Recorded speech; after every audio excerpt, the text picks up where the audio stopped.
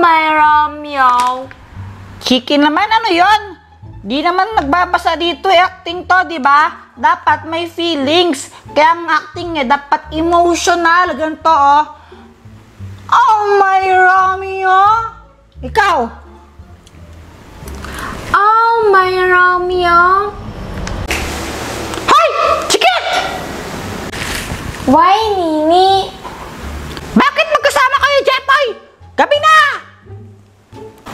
Tinutulungan ko lang siya. Ikaw ba kausap ko? Ikaw ba si Chiki? He's just helping me para sa performance task namin ng mga kagrupo ko bukas. Baka mamaya nagliligawan lang kayo, ha? Susumbong kita kay mama. No, we're so bata pa para sa mga ganyan. Siguraduhin mo lang. Nagliligawan talaga kayo, isusumbong kita kay mama. Lagot ka nun. Jepoy, inom ka muna. Parang pagod ka na. Ah, hindi. Okay lang ako. Sige na. Hindi nga okay lang. Thank you na lang. Jepoy, inom ka na. Ayoko nga eh.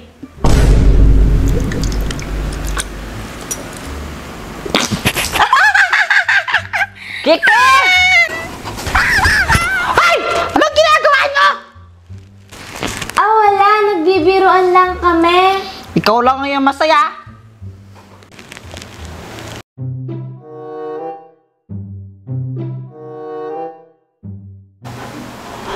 Aha!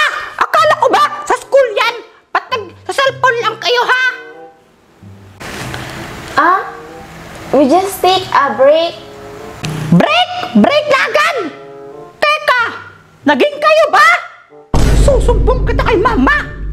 No, it's not like that. Nagpapahinga lang kami ng konti.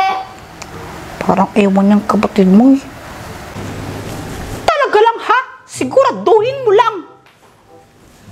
Yeah.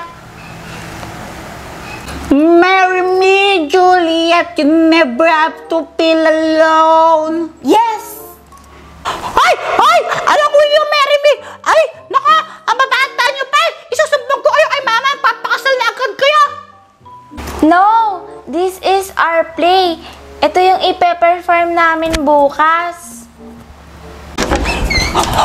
Kuya Jepoy! Yung aso mo kinagat si Boyet! Ano? Kinagat ni Boyet yung aso ko? Ba't naman niya ginawa yon?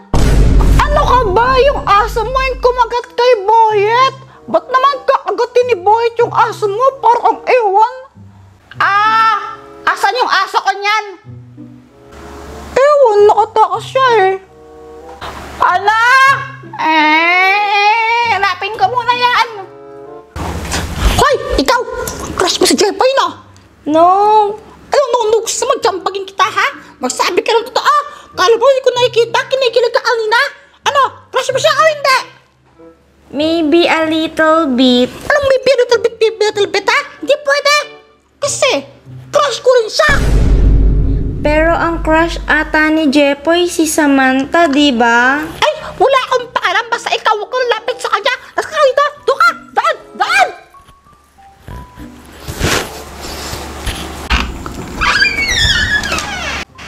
Asan si Titi? Wala. Pinakalas ko na siya. Ha? Sabihin, ano, ah, natutulog na siya. Ah. Ako na lang tulungan mo sa assignment ko. Ay, wag na lang.